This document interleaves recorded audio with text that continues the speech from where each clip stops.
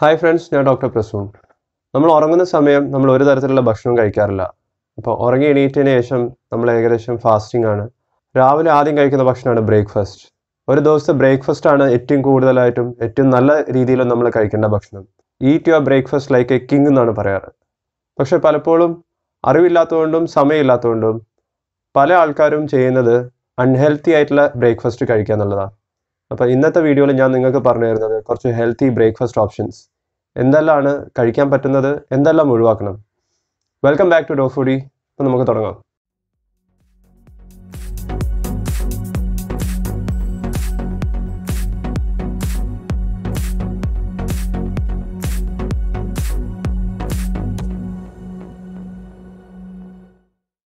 അരിയിൽ ചില ഇമ്പോർട്ടന്റ് ആയിട്ടുള്ള amino acids പ്രോട്ടീനിന്റെ ബേസിക് ആയിട്ടുള്ള കമ്പണന്റ് ആണ് വരുന്നില്ല. അത് അതിന്റെ എക്സാമ്പിളാണ് മെത്തിയോണിയൻ ലൈസിൻ എല്ലാം.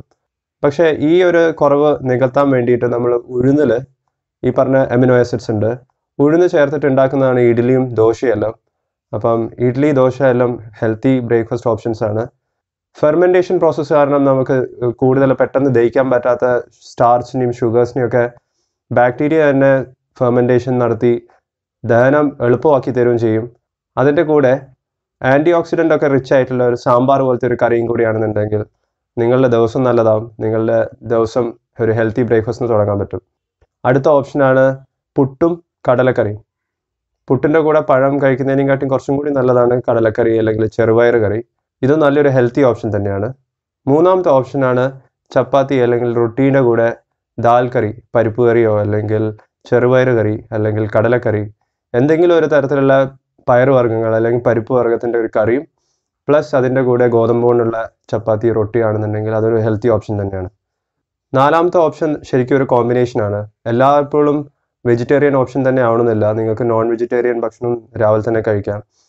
പ്രോട്ടീൻ ആണ് നമുക്ക് കൂടുതലായിട്ട് കടലക്കറി പയർ ഉഴുന്ന് പരിപ്പ് പയറുവർഗങ്ങളിൽ ഇതെന്നാലും കിട്ടുന്നത്. അപ്പോൾ ഈ പ്രോട്ടീൻ സപ്ലിമെന്റ് ചെയ്യാൻ നമുക്ക് മുട്ട കഴിക്കാം ഫിഷ് കറി വെച്ച് കഴിക്കാം മീറ്റ് വേണമെങ്കിൽ രാവിലെ ബ്രേക്ക്ഫാസ്റ്റിന് കഴിക്കാം. ചപ്പാത്തീന്റെ കൂടെ ദോശേന്റെ കൂടെ പുട്ടിന്റെ കൂടെ. അപ്പോൾ നോൺ വെജിറ്റേറിയൻ ഓപ്ഷൻസ് ഇങ്ങനെ കുറേ കോമ്പിനേഷൻസ് വരുന്നുണ്ട്. ഇതിൽ വേണമെങ്കിലും നിങ്ങൾക്ക് നിങ്ങളുടെ ടേസ്റ്റിനനുസരിച്ച് ചൂസ് ചെയ്യാം. നിങ്ങൾക്ക് രണ്ടാഴ്ച കൂടുമ്പോൾ ഒരിക്കൽ ബ്രെഡൊക്കെ കഴിക്കുന്നതിനും പ്രശ്നമൊന്നുമില്ല. എളുപ്പത്തിൽ പ്രിപ്പയർ ചെയ്യാൻ പറ്റുന്ന ഒരു സാധനമാണ്. പ്രത്യേകിച്ച് ഉണ്ടാക്കാനൊന്നും ഉണ്ടാവില്ല. കൂടെ സൈഡ് ഡിഷ് മാത്രമേ ഉണ്ടാക്കാനുണ്ടാവുള്ളൂ. അതും ഓംലെറ്റ് ആവാം എഗ് ബുൾസൈ ആവാം എഗ് സ്ക്രാമ്പിൾഡ് ആവാം അല്ലെങ്കിൽ ബ്രെഡ് ബട്ടർ ആവാം. വേറെ ഒരു കാര്യം നിങ്ങൾ ശ്രദ്ധിക്കേണ്ടത് ബ്രേക്ക്ഫാസ്റ്റ് കഴിച്ചു കഴിഞ്ഞാൽ അല്ലെങ്കിൽ ബ്രേക്ക്ഫാസ്റ്റിന്റെ കൂടെ തന്നെ എന്തെങ്കിലും ഫ്രൂട്ട്സ് നിർബന്ധമായിട്ടും കഴിക്കണം. ഒരു കഴിയുന്നേരെ ബനാന ആവാം അല്ലെങ്കിൽ ആപ്പിൾ ആവാം മാംഗോ ആവാം ഓറഞ്ച് ആവാം. എന്താണോ ആ സീസണിൽ നിങ്ങൾക്ക് കിട്ടുന്ന ഫ്രൂട്ട്സ് ഫ്രഷ് ഫ്രൂട്ട്സ് സ്ലൈസ് ചെയ്ത് കഴിക്കുന്നതാണ് നല്ലത്. ഇനി എല്ലാ ദിവസവും ഫ്രൂട്ട്സ് കിട്ടിയിട്ടില്ലെങ്കിൽ നിങ്ങൾക്ക് വെജിറ്റബിൾ സാലഡ്സ് കഴിക്കാം. വെജിറ്റബിൾസ് രണ്ട് തരമുണ്ട്. സ്റ്റാർച്ച് കൂടുതൽ അടങ്ങിയിട്ടുള്ളതും സ്റ്റാർച്ച് കുറച്ചുള്ളതും. സ്റ്റാർച്ച് കൂടുതലുള്ളതാണ് കപ്പ ചേന ചേമ്പ് കിഴങ്ങ് വർഗങ്ങളെല്ലാം. സ്റ്റാർച്ച് കുറവുള്ളതാണ് ക്യാരറ്റ് കുക്കുംബർ വെള്ളരി കക്കിരി ആ രീതിയിലുള്ള പയറുവർഗങ്ങൾ അപ്പം സ്റ്റാർച്ച് കുറവുള്ള വെജിറ്റബിൾസിന്റെ സാലഡ്സ് നിങ്ങൾക്ക് ഉണ്ടാക്കി കഴിക്കാം. ഫ്രൂട്ട്സിന് പകരമായിട്ടോ അല്ലെങ്കിൽ ഫ്രൂട്ട്സിന്റെ കൂടെയോ. ഇനി നിങ്ങളുടെ ബ്രേക്ക്ഫാസ്റ്റ് കംപ്ലീറ്റ് ആവണമെന്നുണ്ടെങ്കിൽ ഒരു ഗ്ലാസ് ചായ മധുരം കുറച്ചിട്ടോ അല്ലെങ്കിൽ മധുരം ഇടാതെയോ? ഇല്ലെങ്കിൽ ഒരു ഗ്ലാസ് പാൽ ഒരു ഗ്ലാസ് കോഫി നിങ്ങൾ എന്താണോ സാധാരണ പതിവായിട്ട് കഴിക്കുന്നത് അത് നിങ്ങൾക്ക് കുടിക്കാം. അപ്പം ഞാൻ നിങ്ങൾക്ക് കഴിക്കാൻ പറ്റുന്ന കുറച്ച് ഹെൽത്തി ആയിട്ടുള്ള ബ്രേക്ക്ഫാസ്റ്റ് ഓപ്ഷൻസ് പറഞ്ഞു. ഇനി നിങ്ങൾ കഴിക്കാൻ പാടില്ലാത്ത കുറച്ച് കോമ്പിനേഷൻസ് ഉണ്ട്. അത് ഏതെല്ലാമെന്ന് നമുക്ക് നോക്കാം. അതിലാദ്യം വരുന്നതാണ് പൂരി. എണ്ണയിൽ മുക്കി പൊരിച്ചിട്ട് ഉണ്ടാക്കുന്നതാണ് മാക്സിമം ഒഴിവാക്കുക. ചപ്പാത്തീന്റെ കൂടെ ഉരുളക്കിഴങ്ങ് കറി.